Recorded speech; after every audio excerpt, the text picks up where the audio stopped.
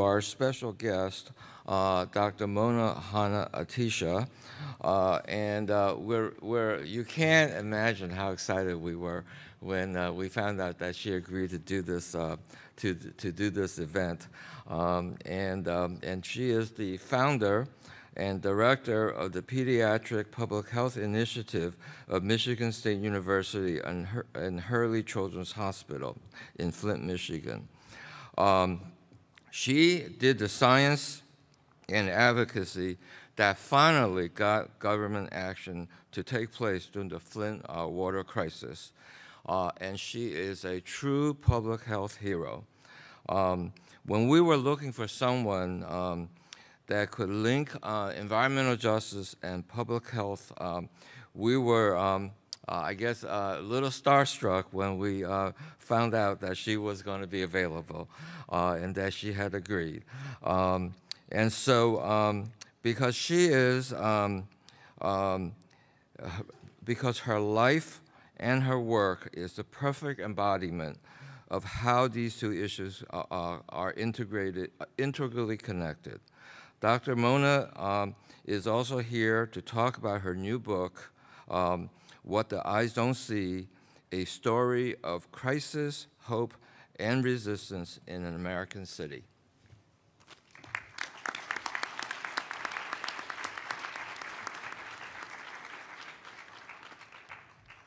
I get the stool because I'm really short. It's awesome. Thank you for the stool. Um, it is it is amazing and humbling and such an honor to be here um, with really so many heroes uh, in the field of environmental justice. And I want to start by taking you kind of towards the the middle of the Flint story. Um, when I was talking with a, a pediatrician colleague of mine, and he turned to me um, we were in the clinic and he turned to me. He's like, Mona, have you ever heard of this concept called environmental injustice or environmental justice? And I just smiled. Um, and I want to tell you a little bit of my background. Um, we heard some amazing family stories that really um, molded people's careers already today and, and why they do the work that they do. Um, so uh, my path to medicine and to pediatrics was a bit atypical. Um, I started out as a community organizer. Um, I started out as a tree hugging environmentalist. Um, so I was in high school um, and I was young, I was 13. Uh, got involved in my high school environmental club, and we did what high schoolers do. We recycled cans and we put on plays for the elementary school. Um, but then we found out that there was a trash burning incinerator in an adjacent city, and that that incinerator was literally in the backyard of an elementary school and a senior center. And that the kids in that neighborhood had one of the highest asthma rates, and we've heard about this already. And that the adults had high rates of COPD or respiratory disease. So my environmental group leader was amazing, and she got us involved in a real fight, in a real environmental fight. And we door knocked and we protest and we organized. Um, and this was all led by a courageous mom who was a nurse. And we finally elected um, a local state representative who went into the state legislature. He won. And the very first thing he did was pass a law that an incinerator could not be located that close to an elementary school and that incinerator has been closed for 20 years. It's amazing, amazing, amazing, amazing. So I was a kid. I couldn't even drive. My parents would like drop us off to these like protests and like just don't get arrested. Um, but at that young age, I realized the importance of having a voice, of being an activist, the role that environment plays in your health, the impact it has on vulnerable communities, and the power of elected officials to do good.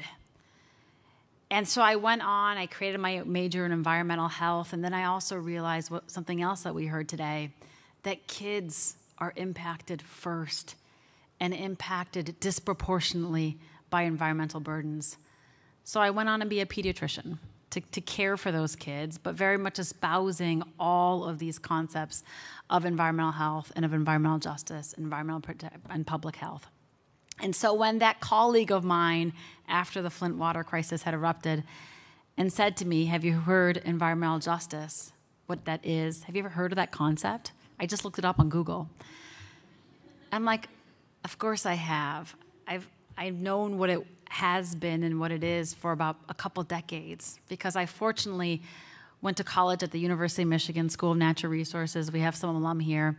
And I was blessed to learn about those concepts by some of the fathers of net field, Bunyan Bryant, Paul Mohai, who were influenced by Charles Lee's work. So I was blessed to have really that training and really be at the right place at the right time with the right team and the right village um, and the right access to data to do the work that I did in Flint. So obviously, you have hopefully heard of, of Flint and our water crisis, and by now you know that it is probably the most emblematic environmental and public health disaster of this young century.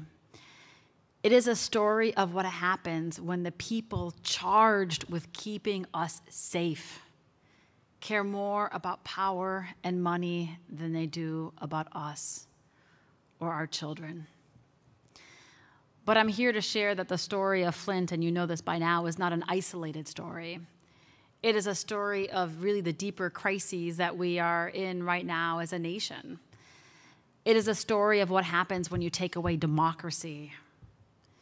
It is a story of what happens when we deny science, a total disrespect for science. I don't need to tell you what kind of how this reflects on what's happening today.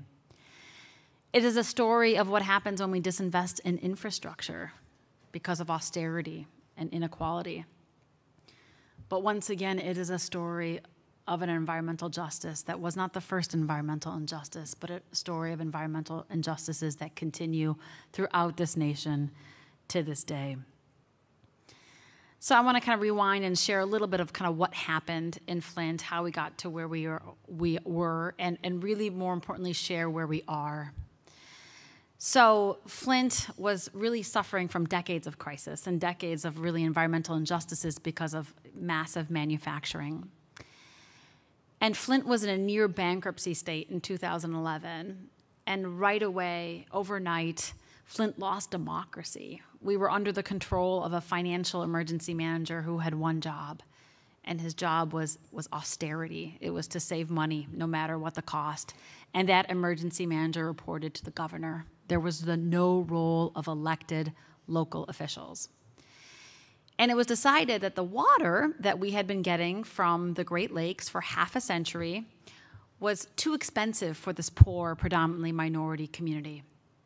And that we would stop getting water from the Great Lakes, and instead we would draw water from the local Flint River until a new pipeline to the Great Lakes was to be built. So, any Michiganders in the audience? Some. Show me, show me how you tell me where you're from. Show me your, okay, point to where you're from. All right, look around. This is really cool. If you're not from Michigan, California, you can't do this, okay? So, if I'm Flint area, are you from Flint? Saginaw, north of Flint. Okay, so Michigan is the mitten state, right? So we have a lower peninsula. We also forget we have an upper peninsula, but but and here's Flint, literally kind of in the middle of, of the mitten. So why are we the mitten state? What what are we surrounded by? The Great Lakes. Okay, so we don't have a water uh, accessibility issue. So we are surrounded by the Great Lakes. The Great Lakes are the largest source of fresh water in the world. 20% of the fresh water in the world is around the Great Lakes. Yet to this day, we have a city that cannot turn on their tap and drink safe water. So it was decided it was too expensive for this poor, predominantly minority city. And in April of 2014, by a very simple flip of a switch, we started drawing our water from the local Flint River. And it didn't seem right. And the heroic people of Flint absolutely raised their voices. And they said, My water is brownish and greenish, and it tastes weird, and my kids are getting rashes. And we had bacteria, and we had boil advisories, and then they dumped a lot of chlorine, and that felt like people were taking a bath in a swimming pool and drinking bleach that irritated skin and eyes. Then we had so much chlorine in this water, it led to a high level of disinfectant byproducts, which are carcinogens. And just a few months after this water switch, General Motors, which was born in Flint, stopped using this water because it was corroding their engine parts at their plant. So think about that. Our water was corroding engine parts. But the entire time, the state of Michigan was telling the people of Flint to relax, that everything was okay. So the Flint water was missing an important ingredient called corrosion control, federally mandated ingredient. And without that ingredient, ingredient, our water was 19 times more corrosive than the water that we were getting from, from the Great Lakes. And it was so corrosive that it ate up our lead based plumbing. We have a lot of lead service lines. We have lead in our premise plumbing, which is the plumbing inside our homes. We had lead in water levels in the hundreds and thousands and tens of thousands of parts per billion. The EPA action level, which is not health based, is set at 15 parts per billion. We had a home with a lead level of 22,000 parts per billion of lead in water. And that lead and water data came to us because of citizen science. So, uh, an amazing uh, environmental researcher in Virginia Tech, Marc Edwards, when he heard that Flint wasn't treating their water properly, he was contacted by a mom, an amazing Flint mom named LeeAnne Walters. And he packed his minivan overnight with grad students and supplies and he drove up to Flint and worked hand in hand with the people of Flint to prove that there was lead in the water. And they did. And they were attacked and dismissed and denied. And then by sheer randomness, I heard um, from a high school girlfriend who happens to be a drinking water expert, like have diverse friends in lots of different disciplines, who was at my house hanging out, drinking a glass of wine. Our kids were playing together. Um, and she she shared that um, that the water wasn't being treated properly, and because of this lack of corrosion control, there would be lead in the water. And that was a year and a half after the water switch. And that was the very first time I heard the word lead. And when a pediatrician hears the word lead, when anybody in public health hears the word lead, we freak out. We absolutely freak out because we know what lead does. It's a potent, irreversible neurotoxin. Incredible science has brought us to the point that we now know there is no safe level of lead. Levels we thought were okay decades ago when we had paint, lead in paint and lead in gasoline, we now know are no longer okay. And I also freaked out because I also knew lead was a form of environmental injustice. Because I already knew my Flint kids already had higher levels of lead, just like kids in Detroit and Chicago and Philadelphia and Baltimore. Struggling with every toxicity, they now had this added burden. So, in rapid speed and in kind of detective fashion, which you can read about in my book, um, we did the research to prove the impact, which never needed to happen. We never needed, I, my work never should have happened. This crisis should have ended when that first mom raised her jug of brown water and said there was something wrong. It should have ended when those car parts were corroding. It should have ended when we knew there was lead in the water. But to move this mountain that we were in, I knew I needed that cumulative impact or that impact that it was increasingly in the bodies of our children. So as I said earlier, I, I literally walked out of my clinic and I stood up at a podium, but I was shorter. I could hardly like peek out. And I stood up at a press conference, which is an academic no no. And I shared the science that after the water switch, our children had an increase in the burden of, of lead in their blood. And I was also attacked, just like everybody else who had raised any concerns in the story. And, you know, for a moment, um, you know, the entire state, every arm of the state was saying I was wrong. They called me an unfortunate researcher, that I was splicing, dicing numbers, that I was causing near hysteria, which is also wonderfully sexist. And, and for a minute, I absolutely, I believed them. I was scared. I thought to myself, maybe I should have just stayed busy pediatrician, mom, wife. Why did I why did I step out of my box? Why did I take this risk? I was physically ill. And ultimately, it was the children that got me back in this fight and made me realize that my research, my numbers, my statistics were just, were not numbers. They were kids. They were kids that I, as a pediatrician, have literally taken an oath to protect. And we fought back. We fought back with more science, more evidence, more numbers. And finally, the state conceded and exposed this man made crisis, raised by the voices of the incredible people of Flint who had been vocal throughout this crisis. And from that point on, we have been on a road to recovery. In Flint, we still cannot drink our water. We are still on bottled water and filtered water because our damaged lead pipes are being replaced. We've already replaced about 7,000 lead pipes. We've got about 10,000 more to go. We will only be the third city in the country that has replaced their lead pipes. There's a lot more work that we need to do as a nation. But I get to spend my every day working on the tomorrows of our children. We cannot take away what happened. There is no magic pill, there is no antidote. But there's a lot that we can do to promote the development of our children. So sometimes I say that I'm actually writing prescriptions for hope but it's so much more than just words.